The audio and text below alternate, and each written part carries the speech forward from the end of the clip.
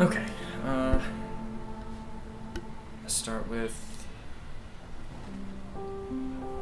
I don't think anyone really knows what marriage is. I mean, you know, of course, until they do it and get a divorce and then try again. Right? I mean, you know, the way they'll know what to do, what mistakes there are to make, and how to fix them. So, I think, wouldn't it be great if I could marry someone that I didn't love for practice?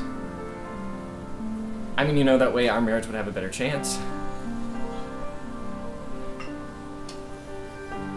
Uh, have you ever noticed that when people fall in love in movies, you never actually hear what they're saying? I mean, it always happens during some montage sequence when they're walking through a park, or talking in the rain in a park, or having a picnic in the park while it's raining. Anyway, I just want to say that I can't promise anything. I mean, when we are up at the altar and the rabbi, or the priest, or whoever says, Will you take hope in sickness and in health? I can't say I do.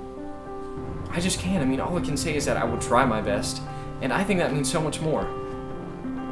Don't you? I mean, I think I love you.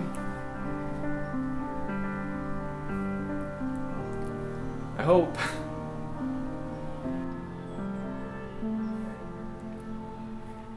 Should I kneel, or do I even have to ask? No.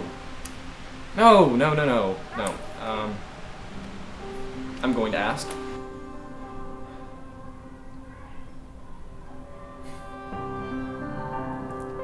One second. So, I know we've only been dating for a few weeks now, but I really like you.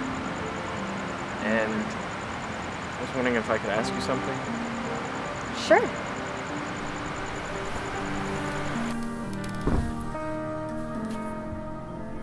Will you? Will you? Uh, will you? Will you be my plus one to my best friend's wedding? Yes. Yeah? Yeah. Cool.